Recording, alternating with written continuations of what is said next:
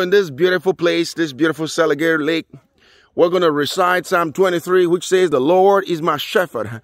And I want you to recite with me now, somebody. The Lord is my shepherd. I shall not want. He maketh me to lie down in green waters, pastures. He leadeth me beside still waters. He restored my soul. For mm, part of righteousness for his name's sake.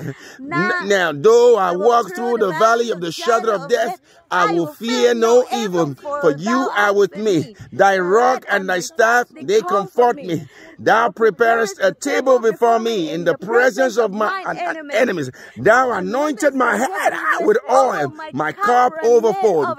Hey, surely goodness and mercy shall follow me all the days of my life, and I, Ike Amadi, and my family wish mm, we should dwell in the house of the Lord forever and ever. And, and the whole church shout, Amen. Amen. Love from Seliger Lake 2022 with the ICA Filipino Fellowship. It's been an amazing, amazing time. God bless you. Ike Amadi, Seliger, Russia. Yay.